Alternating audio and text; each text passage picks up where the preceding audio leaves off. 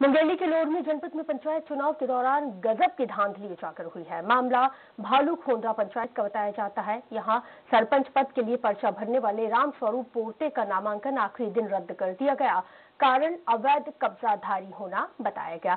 इसका नतीजा तो ये हुआ कि राम स्वरूप का प्रतिद्वंदी निर्विरोध सरपंच बन गया और इस पूरे मामले में राम स्वरूप ने प्रशासन के तमाम अधिकारियों पर मिली भगत का आरोप लगाया है। तो वहीं शिकायत मिलने के महीने भर बाद अब जाकर इस पूरे मामले में कलेक्टर ने जाँच के बाद कार्रवाई किए जाने की बात कही है।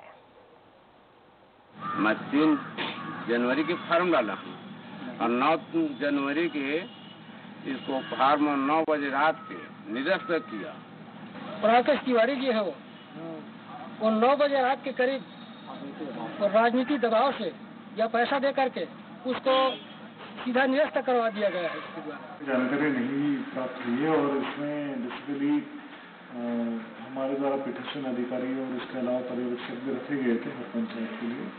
अगर ऐसा कुछ मामला है और ऐसा समझ में आता है तो उसमें आवश्यक कार्रवाई करेंगे रोहित कश्यप, ज़्यादा जानकारी के साथ फ़ोन लाइन पर जुड़े हैं।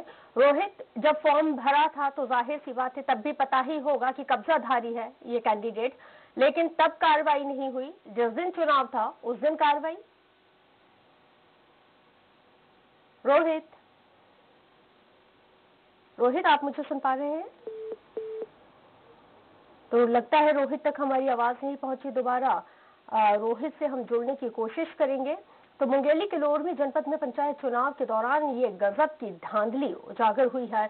मामला भालू खोंडा पंचायत का बताया जाता है, जहाँ सरपंच पद के लिए पर्चा भरने वाले राम स्वरूप पोर्ते का नामांकन आखिरी दिन रद्द कर दिया गया। वजह तो सुनिए, वजह तो ये है कि अवैध कब्जाधारी होना इस कैंडिडेट को बताया गया। नतीजा ये हुआ कि राम स्वरूप का प्रतिद्वंदी निर्विरोध सरपंच बन गया। इस पूरे मामले में राम स्वरूप ने प्रशासन के तमाम अधिकारियों पर मिली भगत का गंभीर आरोप लगाया। वही शिकायत मिलने के बाद अब महीने भर बाद जाकर इस पूरे मामले में कलेक्टर ने जाँच के बाद कार्रवाई किए जाने की बात कही है।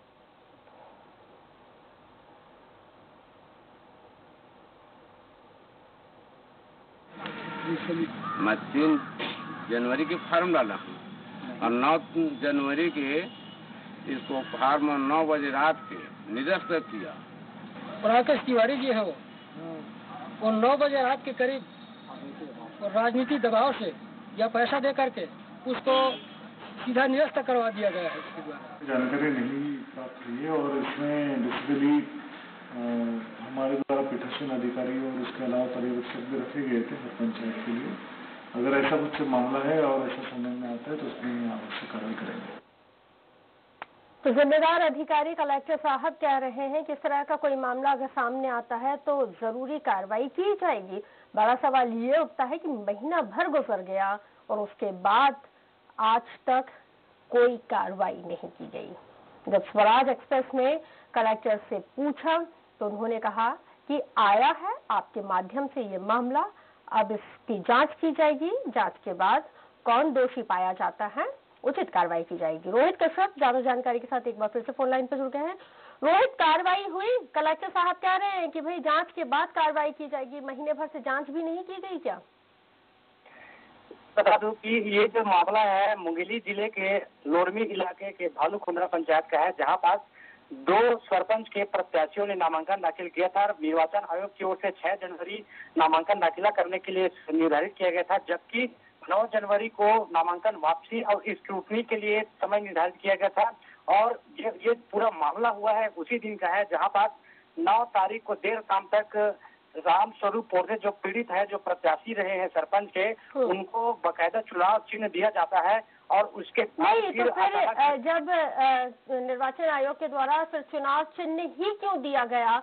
जब उनकी दावेदारी ही निरस्त कर दी गई थी करनी ही थी तो फिर पहले चुनाव चिन्ह क्यों दिया गया? क्या पहले जाँच पड़ताल नहीं की गई थी? क्या राम स्वरूप पहले कब्जाधारी नहीं था कि अचानक से वो कब्जाधारी हो जाता है? क्या कह रहे हैं जिम्मेदार इसको लेके? बिल्कुल स्क्रूटनी के बाद ही चुनाव चिन्ह दिया जाता है और ऐसा इसमें भी हुआ था स्क्रूटनी के पश्चात आन इस सर्टिफिकेट देते हुए उन्हें बकायदा चुनाव चिन्ह दिया आप बने रहिए इस वक्त हमारे साथ बीजेपी के जिला अध्यक्ष शैलेश पाठक जी जुड़े हुए हैं। शैलेश पाठक जी मामला आपके संज्ञान में होगा प्रतिक्रिया दीजिए। हाँ जी जी हाँ। हम्म बताइए। जबरन का इनका नामांकन रद्द किया गया है। हाँ। जबकि शुरुआत में इनका नामांकन रद्द होना चाहिए ऐसा कुछ था तो। हम्म हम्म। अलर्ट हो गया था चीन ने उसकी बात कर रहा है। ऐसा कहाँ का नियम कानून है भाई? शैलेश जी तो आप मान रहे हैं ना कि स्क्रूटनी जो हुई है वो भी गलत तरीके से हुई है फिर। हाँ गलत गलत हुई है गलत हुई है। ये तो जब इसका रद्द हो रहा है तो अधिकारी का दोषी है उसको भी कार्रवाई होनी चाहिए। बिल्कुल आप लोगों ने इस पूरे मामले में शिकायत भी की होगी ज़ाहिर सी बात है। जी जी जी जी जी जी जी संज्ञान में आया था मैंने उससे बात भी किया हूँ। हाँ हाँ। तो सुन ही नहीं रहा है इनके बारे में। तो ज़िले के जो जिलाधिकारी हैं वो क्या कह रहे हैं? उनसे बातचीत हुई आपकी? एसडीएम का क्या कुछ कहना है? जी इनका कहना है कि वहाँ नियमानुसार हुआ है। पर नियमानुसार तो नहीं हुआ है भाई। हम्म। तो आपको क्या लगता है राजनीतिक षड्यंत्र? तो षडयंत्र है बिल्कुल। अभी शासन प्रशासन के शासन की साल प्रधान चल रही है। कोई नहीं सुनाई हो रहा है। क्योंकि ऐसे ही केस जिला पंचायत में हुआ था चुनाव समय। सबको नंबर अलर्ट कर दिया गया था कौन किसको वोट दे रहा करके।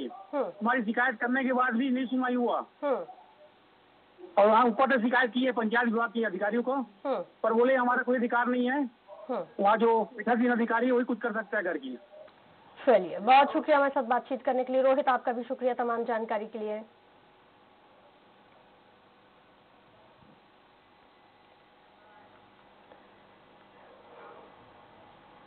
नर्मदा की सहायक